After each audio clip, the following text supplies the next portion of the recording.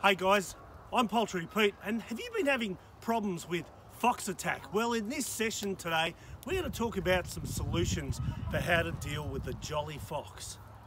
Oh, it's the middle of winter and it's a notorious time for fox attack. Now, we've had all kinds of problems with foxes, honestly. Just recently, in this beautiful area, we had a whole bunch of guinea fowl that we'd faithfully raised to maturity and blow me down.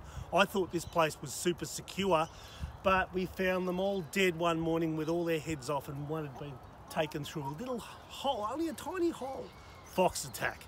So they're really frustrating, but today what I want to do is give you a solution, a, a really great little gadget that I found that has made all the difference.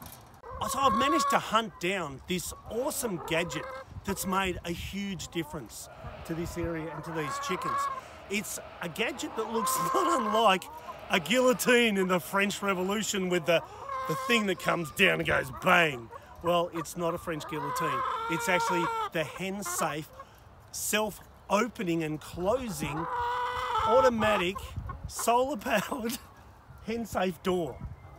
Now, I'm not a rep for this company, but I recently bought the HenSafe self opening and closing solar powered door because I don't have to worry about putting the chooks to bed at night.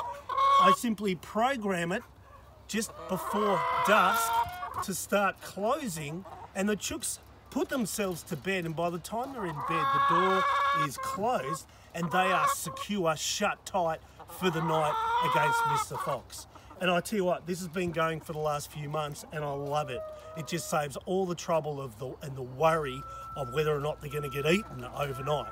Hey guys, if you're getting value out of my content, please subscribe to this channel and click the link below to find out more about the HenSafe self-opening and closing solar powered doors.